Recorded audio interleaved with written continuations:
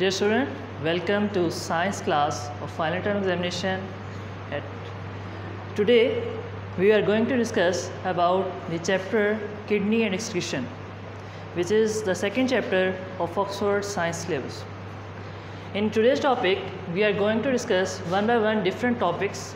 First of all, excretion and defecation, water and mineral balance, structure of kidney, working of kidney, and the kidney failure or kidney diseases and last we will discuss about waste products in plants now first we are going to discuss what is the importance of kidney or what is the importance of excretion excretion से मुराद basically हमारे पास removal of waste products from the body यानी जो products waste हैं जो useful नहीं हैं हमारी body के लिए उनको एक्सक्रीट आउट करना, उनको रिमूव करना, उसको हम क्या कहते हैं? एक्सक्रीशन कहते हैं।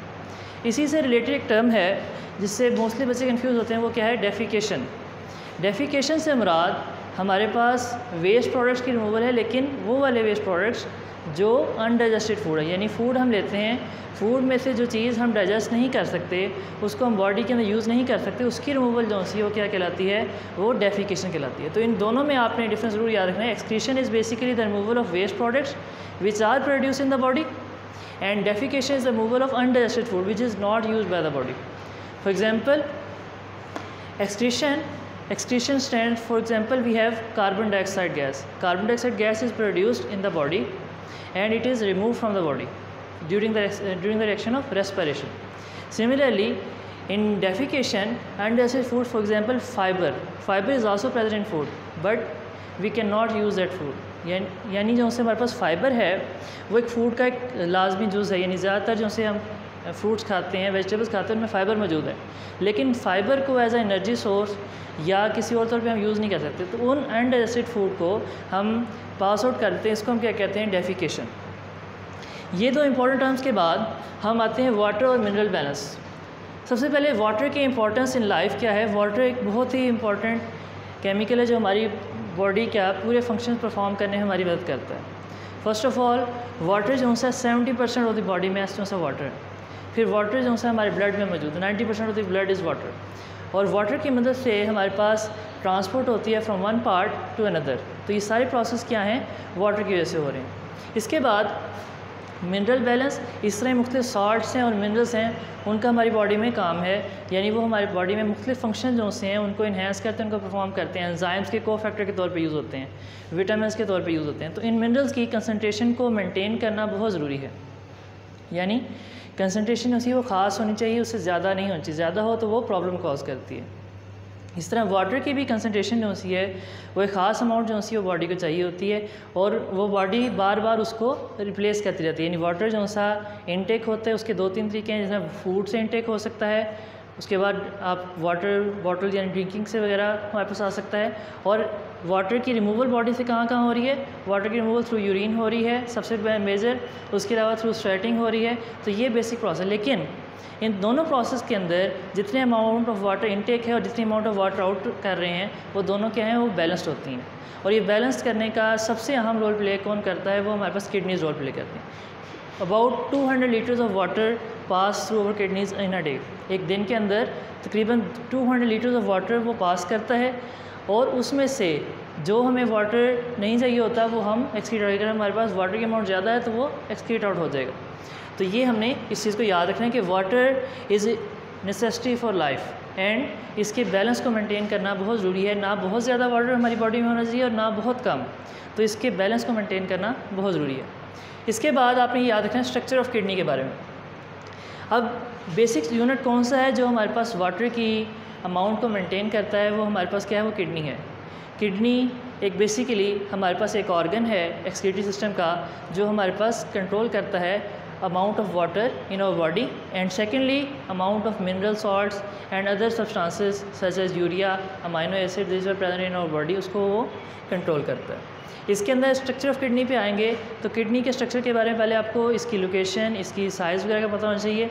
जो सा किडनी है बेसिकली एक बीन शेप्ड ऑर्गन है। It is a bean shaped organ अगर मैं इसकी ड्रॉ करूँ इसको it is a bean shape जिस तरह का बीन होता है, उस तरह का ये ऑर्गन है। और इसके सेंटर से यहाँ से हमारे पास यूरिटर जो है, वो फॉर्म करता है।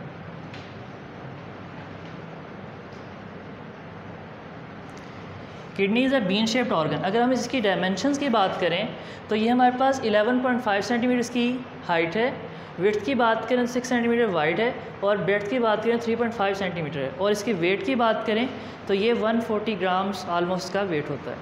अब ये लोकेशन इसकी कहाँ है? ये location basically under the respiratory system यानी हमारे पास अंडर द डोम वो हमारे पास वो प्रेजेंट है. और ये हमारे पास क्या करता है? वहाँ पर on the left and right side of the backbone ये दोनों प्रेजेंट हैं। इसके बाद आपको पता होना चाहिए किडनी के ऊपर एक हल्का सा हमारे पास फैट होता है जो इसको अपनी प्लेस पे रखता है इसको आ, हमारे पास महफूज रखता है। प्रोटेक्शन के तौर पे वहाँ पे मौजूद होता है। Internal structure external structure external structure की बात करें तो सबसे outer layer of the kidney is called cortex cortex के बाद यहाँ पर जो चीज़ें हमें नज़र आ रही हैं तो इसका क्या है सबसे आउटर लेयर क्या है? कॉर्टेक्स इसके बाद this part is called pelvis उसके बाद पेल्विस जो है, वो एक ट्यूब लाइक स्ट्रक्चर आता है, उसको हम क्या कहते हैं? Ureter this is the external part of kidney इसके बाद इंटरनल पार्ट की बात करें तो किडनी के अंदर हमारे पास मुख्तलिफ़ पोर्शन अगर हम उसको क्रॉस सेक्शनली इसको डिवाइड करें डायसेक्ट करें तो उसके मुख्तलिफ़ पार्ट्स हमारे पास आते हैं. सबसे पहला आउटर पार्ट जो सा किडनी का कहलाता है, उसको हम क्या कहते हैं? कॉर्टेक्स और ये रेड कलर का होता है, इसको हम क्या कहते हैं? कॉर्टेक्स कॉर्टेक्स के बाद हमारे पास पिरामिड शेप डिफरेंट पार्ट्स मौजूद हैं, उनको हम क्या कहते हैं? पिरामिड्स जो आउटर साइड कॉर्टेक्स के साथ साथ हमारे पास मौजूद हैं। कॉर्टेक्स के सेंटर पर हमारे पास जो पार्ट है, वो क्या कहलाता है? मेडुला कॉर्टेक्स के पिरामिड के सेंटर पर, यानी किडनी के सेंटर पर एक पार्ट है, उसको क्या कहते हैं? मेडोला और मेडोला के बाद क्या है? हमारे पास पेल्विस है और पेल्विस का यूरिटर यानी ये बेसिकली इंटरनल स्ट्रक्चर के मेजर मेजर पार्ट्स हैं जो मैंने आपको बताया इसके अलावा आपने ये बात याद रखनी है कि वर्किंग ऑफ़ किडनी किडनी कैसे अपना वर्क परफॉर्म करती है? सबसे पहली बात जो इसके अंदर ये है कि the basic functional unit of kidney is nephron यानी नेफ्रॉन जो सा है वो बेसिक काम जो filtration of the blood kidney का काम है, यानी ब्लड को फ़िल्टर करना, उसमें से जो एक्स्ट्रा अमाउंट है उसको रिमूव करना, जो पॉइजनस कंपाउंड्स हैं उनको रिमूव करना, जो हार्मफुल कंपाउंड्स हैं उनको रिमूव करना, वो काम कहाँ होता है? वो हमारे पास होता है इन द नेफ्रॉन ये बेसिक स्ट्रक्चर किस चीज़ का? ये नेफ्रॉन का स्ट्रक्चर है। नेफ्रॉन के स्ट्रक्चर के अंदर डिफरेंट पार्ट्स हैं। सबसे पहला पार्ट जो होता है वो बाउमेंस कैप्सूल कहलाता है। और बाउमेंस कैप्सूल के अंदर हमारे पास जो ब्लड कैपिलरीज कहलाती हैं फाइन कैपिलरीज उनको कहते हैं, वो क्या कहलाती हैं? ग्लोमेरलस ग्लोमेरलस और ये हमारे पास क्या है? बॉमेंस कैप्सूल उसके बाद बॉमेंस कैप्सूल के बाद हमारे पास ये ट्यूब है जो हमारे पास लूप ऑफ़ हैनले में जाती है। लूप ऑफ़ हैनले को हम ट्यूब्यूज़ भी कहते हैं। Tubules are also part of nephron where reabsorption of important minerals takes place and then lastly क्या है हमारे पास? लास्टली कलेक्टिंग डक्ट है, जहाँ पर जो वेस्ट प्रोडक्ट्स रिमूव किए गए हैं ब्लड से, उनको कलेक्ट करके आगे यूरिटर के दिया जाता है। अब यहाँ पर आपने ये बात याद रखनी है कि how does a kidney works अब एक दिन के अंदर तकरीबन 200 लीटर्स ऑफ़ ब्लड जो सा है, वो हमारे पास किडनी से पास करता है, जिसमें से ओनली 99 परसेंट ब्लड वापस क्लीन होके हमारी बॉडी में शामिल हो जाता है उसमें सिर्फ़ 1.5 लीटर्स ऑफ़ जो सा अनवांटेड वाटर है, या हमारे पास यूरिया है, या डिफरेंट केमिकल्स हैं, वो रिमूव होते हैं इन अ डे और इसके बाद, यानी 99 परसेंट ऑफ़ दी जो सा ब्लड है, वो दोबारा हमारी बॉडी के अंदर शामिल हो जाता है.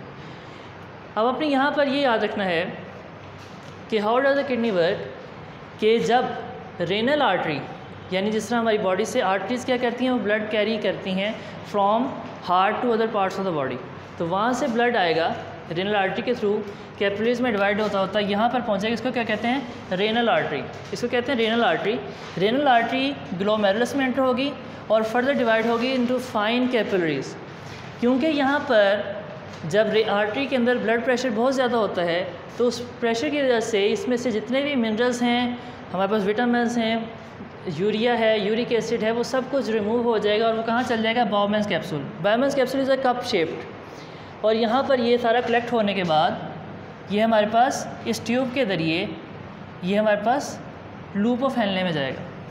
लूप एनले में एक, ये ये बहुत फाइन ट्यूब है और यहाँ पर क्या होता है, क्योंकि अगर हम सब कुछ उसमें रिमूव कर देंगे तो हमारे पास जो इंपॉर्टेंट मिनरल्स हैं वो भी रिमूव हो जाएँगे। तो उन दोनों को मेंटेन करने के लिए क्या करते हैं, वहाँ पर, यहाँ पर रीअब्जॉर्प्शन का प्रोसेस होता है। रीअब्जॉर्प्शन का प्रोसेस जो सा है, वो हमारे पास लूप ऑफ़ एनले में होता है और जो इंपॉर्टेंट मिनरल्स हैं, उनको रीअब्जॉर्ब कर लिया जाता है। रीअब्जॉर्ब करने के बाद ये रेनल वेन यहाँ से ये शुरू होती है रेनल वेन रेनल वेन के अंदर उस चीज़ को कलेक्ट कर लिया जाता है ब्लड के अंदर और दोबारा हमारे पास वो रिमूव कर दिया जाता है। और यहाँ पर आपने ये बात याद रखनी है कि लूप ऑफ़ एनले में से गुजरने के बाद हमारे पास जो अनवांटेड सब्सटेंसेस हैं, वो दोबारा एक कलेक्टिंग डक्ट होती है जो उसको कलेक्ट कर लेते हैं और कलेक्ट करने के बाद वो मेडुला में जाते हैं। मेडुला जो सा है, वो central part of the kidney है और उसके बाद मेडुला से आगे कौन शेड पार्ट उसको हम क्या कहते हैं पेल्विस पेल्विस को कलेक्ट करके उसको कहाँ पर भेजता है? यूरिटर के थ्रू यूरिथ्रा के अंदर। यूरिटर के थ्रू भेजता है ब्लैडर के अंदर। अब यहाँ पर आपने ये रखना है, जो सी हमारे पास ये प्रोडक्ट रिमूव हो रही है, यानी वेस्ट प्रोडक्ट्स रिमूव हो रही हैं, इनके अंदर 96 percent of it is water इसके अंदर 96 परसेंट क्या है? वाटर है, और ओनली फोर परसेंट इसमें क्या है? यूरिया यूरिया क्यों हम रिमूव कर रहे हैं? इसके पीछे रीज़न समझ लें कि यूरिया जो सा है, कहाँ प्रोड्यूस होता है? हमारे पास प्रोटीन्स जो से हैं, हमारी बॉडी को मुख्तु चीज़ें कार्बोहाइड्रेट्स रिक्वायर्ड हैं। कार्बोहाइड्रेट से हम एनर्जी लेते हैं। प्रोटीन्स क्या हैं? प्रोटीन से हमारी बॉडी बिल्ड करती है। कार्बोहाइड्रेट्स तो हम फैट के तौर पे स्टोर कर सकते हैं, ग्लाइकोजन के तौर पे स्टोर कर सकते हैं, लेकिन proteins can not be stored in body. Proteins को हम स्टोर नहीं कर सकते तो उनके लिए लिवर के अंदर एक फ़ंक्शन है जो उनको प्रोटीन्स को कन्वर्ट करता है। किसके अंदर कन्वर्ट कर देता है? प्रोटीन्स को कन्वर्ट करता है यूरिया के अंदर।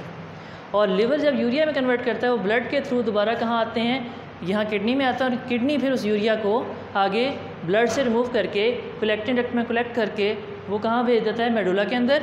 और मेडुला से आगे वो कहाँ जाते हैं? पेल्विस में। और पेल्विस के लास्ट पे हमारे पास क्या एक ट्यूब लाइक स्ट्रक्चर उसको क्या कहते हैं? यूरिटर यूरिटर उनको फिर एंड पर ब्लैडर के अंदर पहुँचा देता है। ब्लैडर एक is a bag like structure यानी वो एक छोटा सा स्मॉल सैक लाइक स्ट्रक्चर है, जो क्या करता है? उसको कलेक्ट कर लेता है।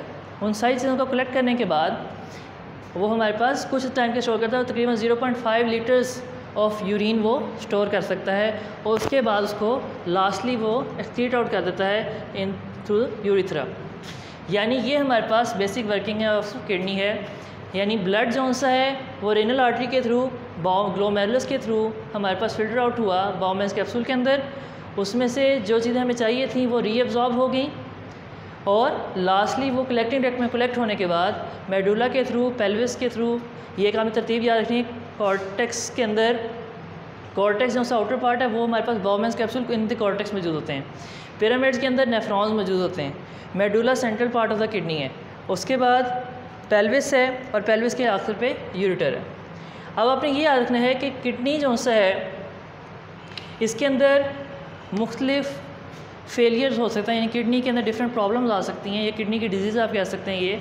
इसमें सबसे बड़ी प्रॉब्लम किडनी फेलियर है जो किडनी किसी का वर्क परफॉर्म नहीं कर रहा, यानी kidney filtration of the blood सही तरह नहीं कर रहा तो उसको दो तरह से हम उसको क्योर कर सकते हैं। इसके दो तरीके हैं, एक तो हम डायलिसिस करें। Dialysis is a basically based on dialysis machine dialysis machine क्या करती है? ब्लड को प्योरीफाई करती है, यानी उसमें से ब्लड पास करता है और पास होने के बाद जिस तरह हमारे पास यहाँ हाई ब्लड प्रेशर की वजह से फिल्ट्रेशन हुई थी, यहाँ, वहाँ पर भी सेलोफिन ट्यूब्स फ़िल्टर पेपर मौजूद होते हैं फ़िल्टर फिल्ट्रेशन मौजूद होती है।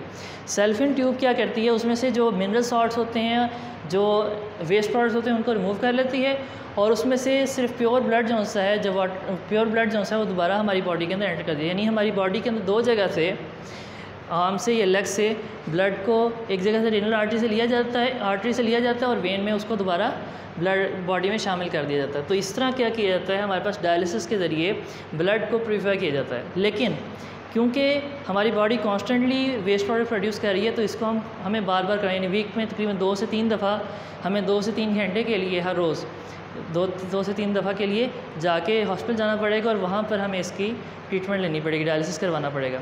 और इसकी ये भी ड्रॉबैक है कि ये हमारे पास परफॉर्म करने के लिए हाईली स्किल्ड पर्सन चाहिए और इसकी जो सी मशीन है डायलिसिस वाली, वो भी काफ़ी कॉस्टली है। तो इस वजह से इसको लॉन्ग टर्म यूज़ करना बहुत डिफ़िकल्ट हो जाता है। और सेकेंड तरीका इसका ये है कि किडनी ट्रांसप्लांट किडनी ट्रांसप्लांट अल्लाह ताला ने हमारे किडनी की तकरीबन दो हमें ऐसी किडनी दी हैं कि हमारे पास हम एक किडनी से भी अपनी फिल्ट्रेशन का प्रोसेस जो सब परफॉर्म कर सकते हैं। तो एक किडनी को हम किसी को डोनेट कर सकते हैं। तो इसके लिए क्या किया जाता है कि जिस बंदे की किडनी टिशू दूसरे बंदे किडनी टिशू के साथ मैच कर जाता है, हम उसको किडनी अपनी डोनेट कर देते हैं और उसकी बॉडी के अंदर वो किडनी जो सी वो ट्रांसप्लांट हो जाती है।